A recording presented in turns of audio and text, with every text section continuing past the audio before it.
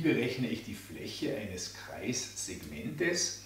Eins vorweg, es gibt hierfür keine kurze Formel, wie wir es gewohnt sind, sondern wir müssen das Ganze eben durch etwas Logik und Arbeit uns herleiten. Ähm, prinzipiell vom Kreissektor, der hier entsteht, wissen wir die Formel ja. Die ist ja nichts anderes eben wie Alpha mal r Quadrat mal Pi 360. Und was wissen wir noch? Wir wollen ja nicht eben diesen kompletten Sektor hier wissen, sondern nur eben diese blau schraffierte Fläche hier, was eben das Kreissegment ist oder die Fläche des Kreissegmentes. Was wissen wir aber noch? Wir wissen auch hier ist ein Dreieck eben gegeben mit den Seiten R, R und der Sehne S hier eben und, bei, und das ist ja alles gegeben. Wir können uns natürlich hier die Fläche dieses Dreiecks sehr wohl auch berechnen. Und wenn wir dann eben diesen Kreissektor als Gesamtfläche minus der Fläche dieses Dreiecks rechnen, bleibt natürlich nur noch unser Kreissegment oder die Fläche des Kreissegmentes übrig. Dazu müssen wir dann natürlich zunächst die Fläche des Dreiecks berechnen. Äh, hierfür haben wir natürlich mehrere Möglichkeiten. Zum einen können wir die Heronische Flächenformel nehmen, die dann halt elend lang ist, oder aber auch kürzer. Wir können natürlich diese Fläche dieses gleich schenkeligen Dreiecks ähm, uns ja sehr wohl berechnen. Da ja hier eben die Seite R und R gleich ist, ähm, können wir uns da sehr leicht die Höhe einzeichnen. Die Höhe ist hier eben, geht aus dem Punkt der halben Sehne in den Mittelpunkt oder in die Spitze quasi der zwei Schenkel hinein. Es entsteht hier eben die Höhe. Die Höhe steht ja senkrecht jeweils auf diese Seite S und hier erhalten wir dadurch eine neue Seite S halbe. Und hier eben die Höhe h dieses Dreiecks, das ist jetzt ein rechtwinkeliges Dreieck. Und beim rechtwinkeligen Dreieck, die Fläche wissen wir ja auch, ist ja nichts anderes eben wie diese Seite mal der Höhe halbe, das wäre dann eben diese Fläche hier, wenn ich sie schraffiere. Und ich brauche das Ganze aber zweimal, also muss ich eigentlich nur eben Höhe mal S halbe eine halbe mal 2 nehmen und erhalte dann für das Gesamtdreieck die Fläche. Dazu muss ich mir natürlich zunächst die Höhe ausrechnen. Die Höhe ist ja hier im rechtwinkeligen Dreieck nichts anderes ähm, eben als eine Kathete.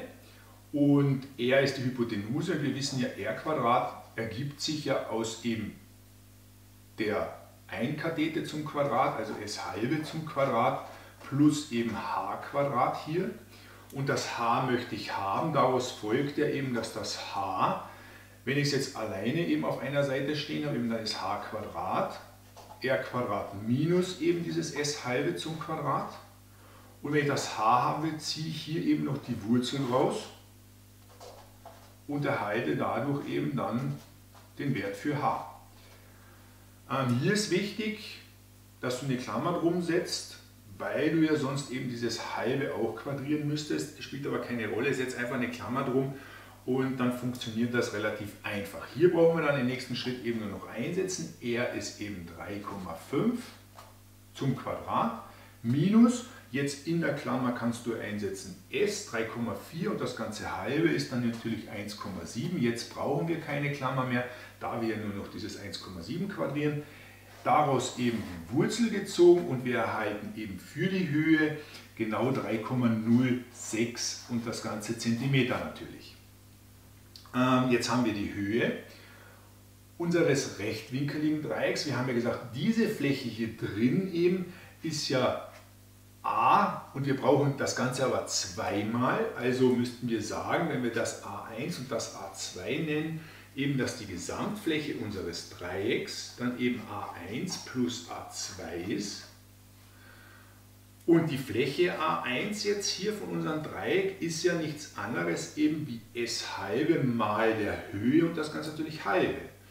Also S halbe mal der Höhe und das Ganze halbe und von der Fläche A, die Fläche A2 ist aber auch nichts anderes wie die Höhe mal, weil wir haben hier auch S halbe, da wir ja genau diese Sehne geteilt haben, um die Höhe zu erhalten. Also ist das aber auch gleich A2. Somit kann ich als Fläche für dieses Dreieck eben definieren zweimal diesen Teil, weil a1 plus a2, wenn sie beide gleich sind, ist es eben zweimal. Also zweimal s halbe mal h, das Ganze hier halbe und das halbe kürzt sich raus. Somit ist die Fläche des großen Dreiecks, also diese gesamte Fläche, die ich ja brauche, nichts anderes wie s halbe mal h. s halbe ist 1,7, da ja s 3,4 ist und die Höhe haben wir ja berechnet mit 3,06. Und ich erhalte als Fläche für dieses große Dreieck eben genau 5,2 Quadratzentimeter. Jetzt brauche ich dann eigentlich nur noch diese, diesen Kreissektor berechnen. Von diesem Kreissektor ziehe ich eben dieses Dreieck ab und habe dann eben die verbliebene Fläche für dieses äh, für Kreissegment eben. Ähm, vom Kreissektor ist ja die Fläche nichts anderes wie Alpha mal r Quadrat mal Pi 360. Um eben Alpha, dieser Zentriwinkel, der hier drin sitzt, als Gesamtes, ähm, den können wir noch nicht berechnen, den müssen wir dann eben aus unserer maßstabsgetreuen Skizze herauszeichnen und erhalten hier eigentlich ca. 60 Grad. Das heißt, auch hier brauche ich nur noch einsetzen, 60 mal r, r wissen wir ist 3,5 zum Quadrat mal Pi, das Ganze 360. Hier kann ich noch kürzen, bevor ich das im Taschenrechner eintippe und brauche dann eigentlich für die Fläche äh, des Kreissegments nur noch eintippen 3,5 zum Quadrat mal Pi durch 6 und erhalte für die Fläche 6,41 Quadratzentimeter und die Fläche dieses Segmentes jetzt eben ist ja nichts anderes wie Kreissektor minus den Dreieck. Ja? Also ist die Fläche hier 6,414 minus meine 5,2 und das ist dann genau 1,214 Quadratzentimeter.